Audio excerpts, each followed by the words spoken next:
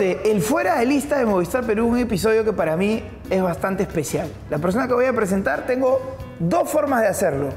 La futbolística, dos veces mundialista, campeón nacional como jugador.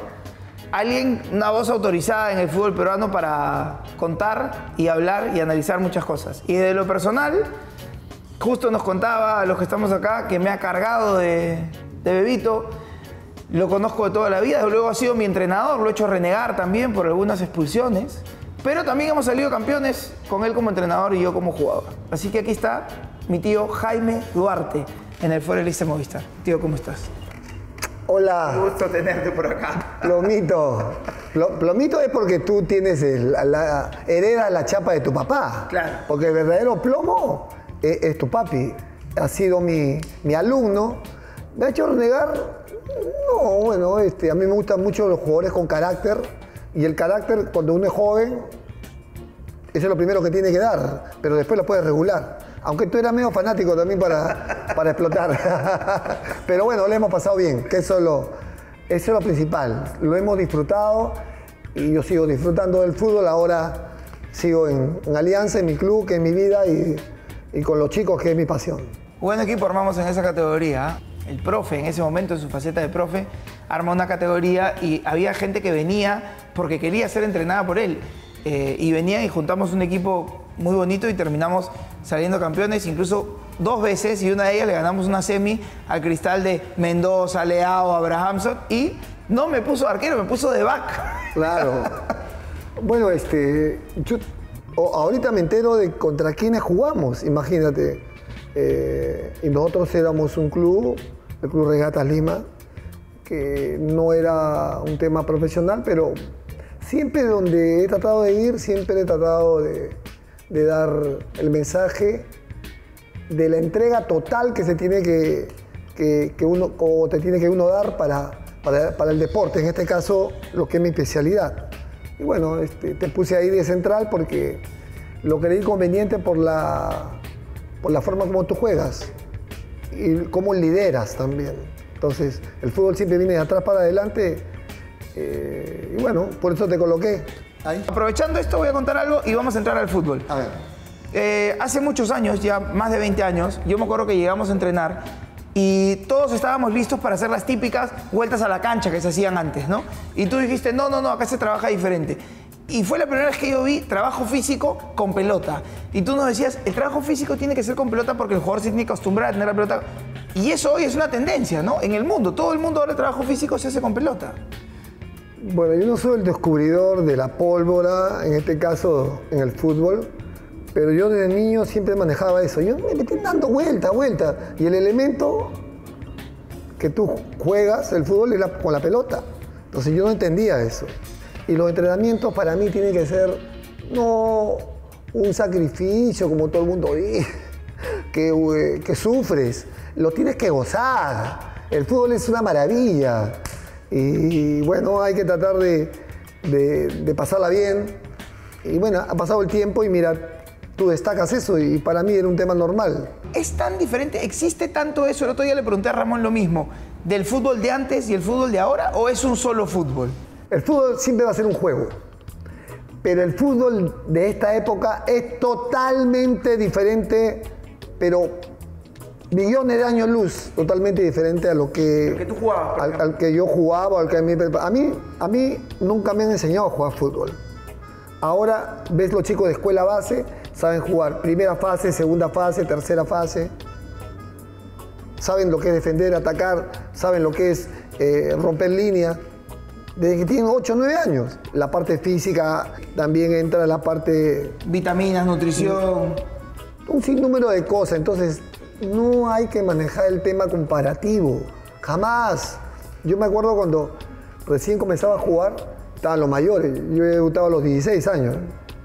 Y a veces no querían hacer parte física, ¿no? Entonces le costaba. el fútbol está inventado, la clásica de, de los mayores, ¿no? Ya en esa época. La clásica de los mayores Oye, el fútbol te inventaba tanta cosa.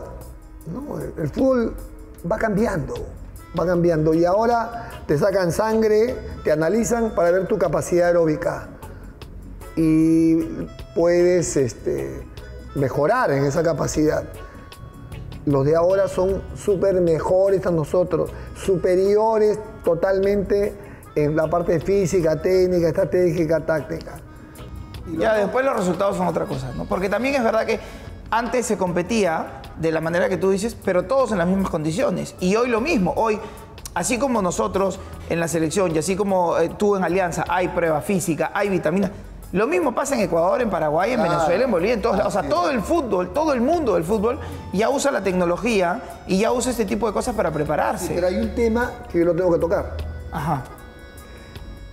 Hemos perdido tanta identidad futbolística que hasta que llegó Ricardo Vareca. Primero, teniendo a una persona de fútbol, de fútbol, ¿ah? en la federación, Juan Carlos Solito. Clave, ¿no? ¿Sí? Clave. Entonces, ¿quién trae? Trae una persona que en lugar de quitarle el fútbol del Perú, le ha aportado algo más al fútbol peruano. ¿Cuál, el- cuál era nuestra fortaleza siempre? Pelota ras de piso, de medio campo para arriba. Sí, pero yo juego atrás. Yo juego con unos monstruos. ¿eh? Claro. Sí, pero después que la perdía, ¿qué pasaba? Si no había ¿Quién venía a ayudar? a- a- eso. Entonces, nosotros hemos hecho un fútbol equilibrado. Pero llegó un momento que acá el fútbol de Perú era, todos querían ser volantes, nadie quería ser defensor. Ricardo Vareca no le quitó, le agregó las dos fases, ¿no? Una atacar y la otra defender. Esfuerzos mutuos. Yo digo siempre, y algunos no me entienden, que el gran cambio con Ricardo es justamente el tema defensivo. Porque antes, yo, yo como público, ¿no? Córner a favor del otro equipo y tú te persignabas, ya estaba, ya. Contragolpe. Hoy en día, tú ves el partido de Perú y te un córner en córner, tú estás recontra tranquilo porque sabes que está trabajada esa pelota parada defensiva. Es que lo que pasa es que si tú no eres sólido atrás, no tienes chance de ganar. Mira, en esta frase te va a resumir todo lo que te estoy diciendo. César Cueto declaró una vez, nosotros hicimos muchas cosas lindas arriba, por la cantidad de lindos jugadores, y buenos jugadores que teníamos, pero no hubiéramos hecho o no hubiéramos llegado a hacer lo que hicimos si no hubiéramos tenido a los defensores que estaban atrás. Porque puedes jugar bonito, pero ¿y si pierdes? Chau. Jaime Duarte responde, nuestro segmento, un compañero para. Yo te voy a hacer unas preguntas rápidas y tú me vas a decir con cuál compañero te irías, por ejemplo, a pasar un día de playa. Con César Cueto. ¿Te quieres comer un ceviche? ¿A quién le pasa la voz? A César Cueto. Una noche de cine, ¿con quién la compartes? Con mi esposa. Estás un día renegando, ha pasado un tema, estás medio asado, quieres que alguien que te haga reír. ¿Con quién te gustaría encontrarte? César. Ya no sé si todavía lo haces, pero alguna vez de repente lo hiciste, tienes ganas de salir en la noche. No me refiero a, a- a bailar, sino salir en la noche. ¿verdad? Vas con tu esposa, ¿a qué otra pareja le pasarías la voz? A mi hermana con su esposo. Perfecto. Para irte de vacaciones, un compañero del fútbol que crees que sea buen, buen compañero de vacaciones. Nunca lo he hecho, pero las oportunidades que he tenido, que me he invitado a Colombia, ha sido con César. Tío, mañana hay una pichanga con una apuesta fuerte, ¿ah? pero actual. Te puede jalar a quien quieras. ¿A quién te jalas? César. También, hasta ahorita. Para hablar de un problema, Mi hermana. buscas un, alguien que te pueda recomendar un libro. ¿Quién es un buen lector? Mi hijo menor. Tienes una amiga que se ha separado, que se ha quedado soltera y te dice, Jaime, preséntame a algún compañero tuyo del fútbol. Me gustaría conocer a alguien para salir. No lo hago. No lo hacen, sabes que todo el mundo contesta eso, no puede ser. Lo meto en un problema. Último minuto, penal. Ya. ¿Vas tú o, o quién va? ¿O llamas a alguien para que vaya? Si yo soy el encargado, yo soy y va a ser gol. De frente y va a ser Convencido, va a ser gol. duda. Le saco la cabeza al arquero. Agarrando todo lo que tú dices, se puede usar la tecnología, se puede ser fuerte en, en defensa, se puede utilizar diferentes sistemas sin perder la identidad del país con el que se trabaja. Y creo que eso es lo que hizo Ricardo, ¿no? o sea, Así es. nos hizo decir, oye, nosotros tenemos buen manejo de pelota, buen toque, tenemos, pero ahora tenemos que sumarle la parte física, la parte defensiva, la parte Así tecnológica, es. porque se trabaja en la selección mucho el tema de las mediciones y todo eso, ¿no? Hay algo que te voy a decir. Vas, ha sido, es y será por siempre al margen que entra la ciencia, la tecnología, el deporte en general. Ahora, ahora yo lo hago a- hace mucho tiempo como, como un entrenador, ¿no? los que estamos afuera de la cancha solamente somos facilitadores. El de los videos, el, apa- el psicólogo, eh, qué sé yo, el preparador físico, charlas nutricionales, todo, lo- Psicólogo, todo. todo eso solamente te- te- son facilitadores. Para facilitarte que tú seas un, un jugador que entra a la cancha preparado para todo. Pero hay algo que lo tengo que decir. Es el jugador el que resuelve. Más nada. Tenemos que estar a la par de lo que es el fútbol de alta competencia, con todos los temas de tecnología, de lo- las últimas tendencias en lo que respecta a la parte táctica, estratégica. ¿Cómo así. vives tú? Porque cuando uno es alguien del fútbol, como tú, que eres alguien por todos lados del fútbol, fuiste jugador, entrenador, trabajas en un club eh, muy importante, pero a la vez eres hincha. ¿Cómo viviste o cómo vives de todos esos aspectos que Perú haya regresado al Mundial? Oh, en mi casa solo, viendo el partido, ya me conoce en mi casa. Solo el partido. eh, estuve eh, también trabajando en televisión, eh, comentando los partidos de la eliminatoria. Vi el crecimiento de la selección. Me agradó mucho algunas acciones de jugadores que yo dije algo en la televisión ese día el público ya se enganchó con este equipo y el equipo se ha enganchado con, el, con el público. Lo que era antes, antes era el, el periodista estaba junto a nosotros, ha cambiado y respeto el tema de las reglas, los protocolos, pero éramos muy unidos, muy, muy unidos. Fui muy feliz en ese momento, muy feliz, muy feliz de ver nuevamente que se cante el himno en un mundial.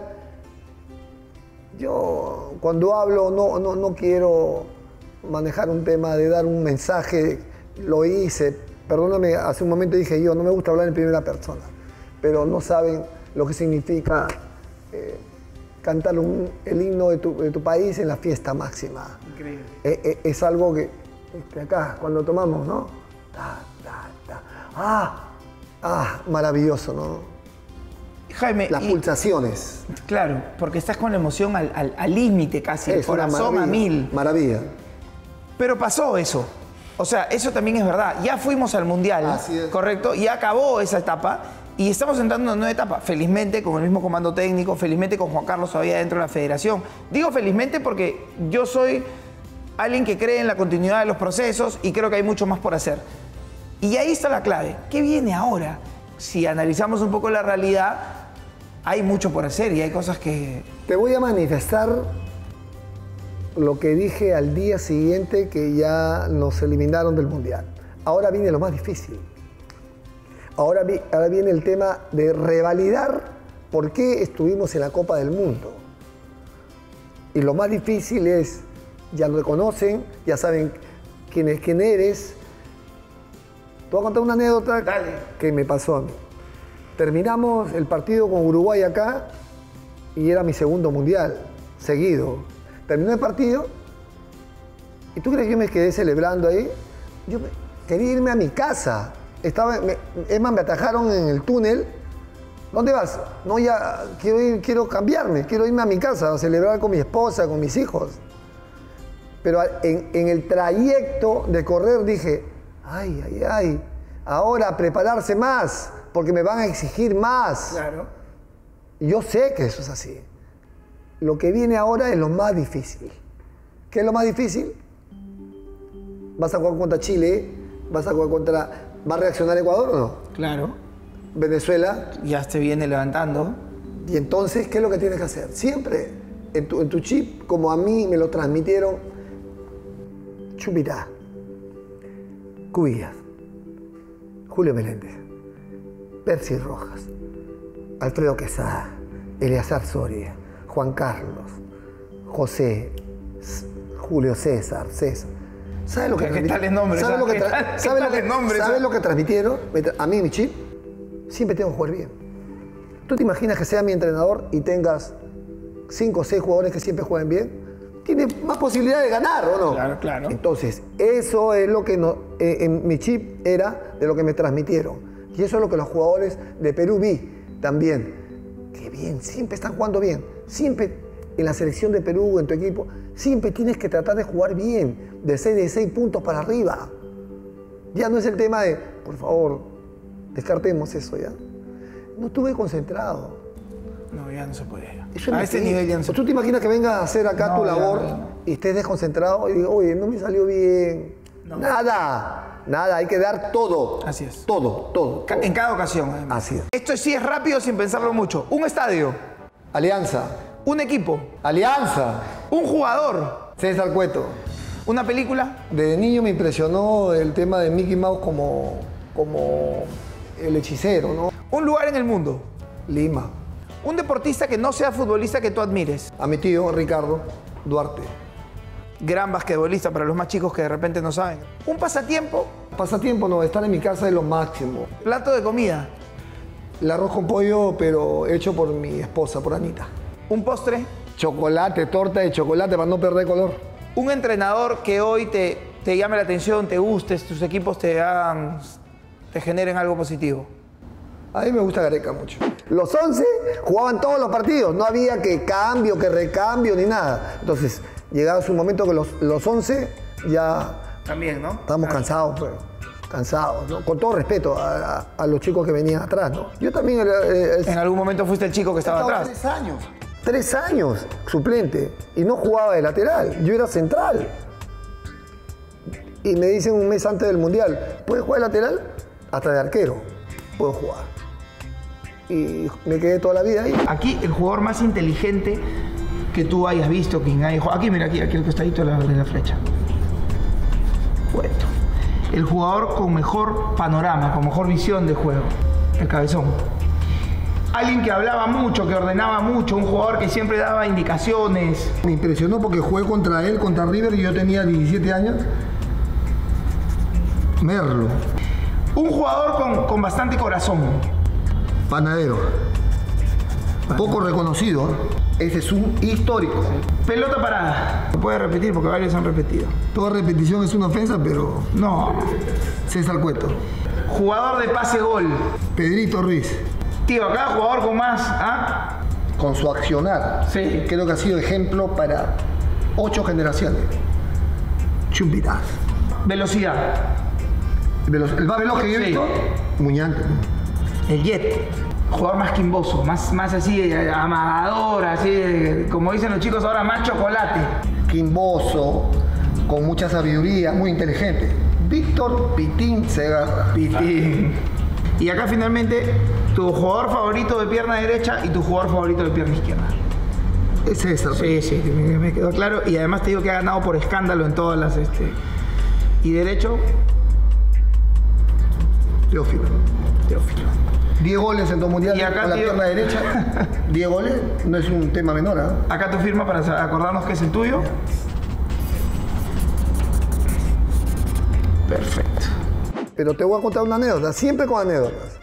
Terminó el partido allá en Montevideo, yo siempre concentrado con César, con Cueto, 12 años juntos en la selección, ¿te imaginas? Es mi compadre, yo soy padrino de sus hijas. Terminó el partido y en Uruguay la gente aplaudiendo, ¿no? de pie. Y en el bus, yendo a nuestro hotelito chiquitito, que era un hostalito, Otra cosa, ¿no? Otros tiempos. Ay, no me quejo. La gente por la calle aplaudiendo. ¿no? Y César es poco de hablar. Yo me llevo muy bien con él. Yo hablo mucho. él- la gente cree que habla poco, pero sí habla. Entonces llegamos al hotel para que vea lo claro que estábamos. ¿no? Y yo le digo, ya que bien jugamos, ¿no? Sí. Y se, y se bañó y ya está. ¿Qué cosa quiere decir? Que faltaba todavía. Claro. Faltaba, faltaba el último partido. Faltaba el último partido. Entonces, Y ellos iban a venir con todo. Claro, y parece fácil ahora que pasó, ¿no? Pero ellos si ganaban se ponían arriba y era 0-0, terminó 0-0. Pero duro, diferente a la eliminatoria de ahora, pero en el ejemplo te, te digo cómo la tiene que tener un jugador. Si hagan esto, te van a exigir más. Prepárate. ¿Y cómo renuevas la, la- Por ejemplo, ya, ya que estamos haciendo esta... No es, un afán de comparar cuál fue mejor, cuál fue peor. Es simplemente un afán de comparar dos procesos que tienen muchos puntos en común y muchos puntos que no son en común porque es otra época, otro formato, otra forma. Pero termina el Mundial del 78, no termina de la mejor manera para nosotros, para, para Perú, y después viene el proceso para, el de España, con eliminatorios en el medio, con una copa y con más cosas. ¿Cómo se renueva la- la- la- el asunto para un jugador? ¿Cómo, cómo en ese momento dices, vamos a dejar esto atrás y vamos a ir para adelante? ¿Viste que estoy sonriendo? Qué bacán que me preguntes eso. Qué, qué bacán, porque me fluye a mí cosas que te lo voy a decir. Es un partido que hasta ahora todo el mundo puede hablar, pero no hay ninguna prueba de nada. Pero todo el mundo pues juzga. Tranquilo. Bueno, hablar es Ok, sí.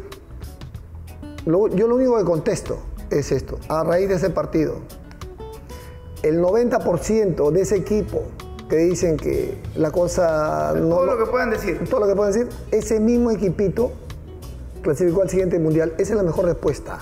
Nada más. El 90% de ese equipo, que es cuestionado por algunos aviondos, que solamente leen, yo estuve ahí y no pasó nada de lo que digan, no pasó nada, absolutamente nada. Este, la respuesta es, ese, ese mismo equipito les dio la alegría, los hizo llorar de felicidad de clasificar a un segundo mundial. Un país donde no había ni canchas para jugar. Dos mundiales seguidos. Que la gente decía, Perú debe estar trabajando muy bien en menores. Y en menores no había nada. No existía división de menores. Ni canchas teníamos nosotros. Entonces, con mucho orgullo lo digo, no quejándome, ¿no? Prepararlo, tío. Lento y tranquilo. Ya, ok. Una baraja de cartas que para la ocasión es blanqueazul. Y normalmente los magos te hacen sacar una carta así a ciegas, ¿cierto? Mírala y la adivinan. Acá vamos a hacerlo al revés. Vamos a voltear las cartas de esta manera. Y todos vamos a ver la carta que tú vas a escoger. Tú vas a poner el dedo o me dices tal, el 3, el 4, el 7, la que tú quieras. ¿ah? Tú me dices. El 2. Mira, solamente la voy a dejar ahí. ¿Está bien? Y lentamente la voy a perder por la parte de atrás y por la mitad de la baraja. ¿Sí? Y tú mismo ahí, piérdela, empújala ahí. Tenemos el 2 de corazones perdido en el medio de la baraja, ¿sí? Una baraja blanqueazul, dijimos, ¿no? Pero tú además has sido una figura de la selección nacional. ¿Te sorprendería que esa carta, la que tú has elegido, justo el 2, se convierta en una carta roja y que se queden todas las demás azules? Sería una sorpresa. ya. Yo voy a hacer que todas las cartas se conviertan en cartas blanquirrojas No. la camiseta No. de la selección. Menos una que ha quedado blanqueazul, que es el 2 de corazones. Todas las demás rojas. Pero, para ya cerrar el tema, esta también tiene blanquirrojo para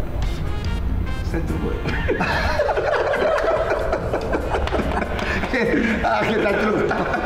Gracias, tío. Gracias. Gracias, Lalo. Lindo. Bueno, con eso, en este ambiente tan alegre y tan bonito, nos despedimos de este capítulo de Fuera del Liste Movistar. ¡Arriba Perú!